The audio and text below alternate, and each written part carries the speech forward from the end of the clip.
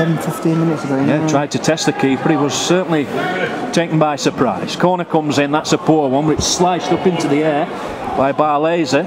Only half clear. That's a great attempt. Wonderful goal by Jack Alton, the substitute. Absolutely phenomenal try. Stunning strike. Corner's come in, the defender sliced it way up into the air. The team's just come out and from 25 yards, It's an absolute rasper in off the bar. Fantastic goal.